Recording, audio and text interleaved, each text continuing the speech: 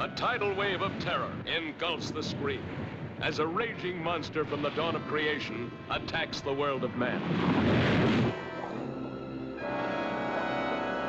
Here, gentlemen, is your villain. Would take an enormous number of those to disable a Navy submarine. Or just one of enormous size, Mr. Chase.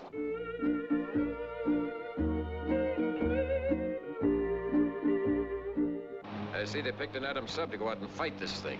Why is that, Commander? Could be because of the new electronic equipment, or her speed. Was she ordered back here from Hawaii just for that? That's right. Think it's as bad as that, do you? I think we're lucky she's here. The H-bomb blasted it loose from the depths of the Pacific. But not even the H-bomb can kill it. Unknown object coming this way. Entering minefield. Stand by, number 38, mine. Fire! Go up. Ready, number 12, south. Fire! Coming on through.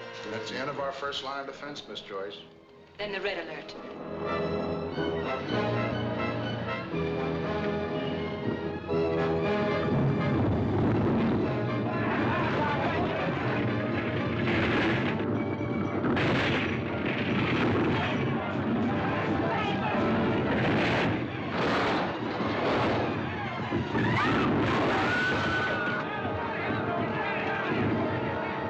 West Coast reels under Holocaust as the men and weapons of the atomic age battle to the death against the ageless monster of the deep.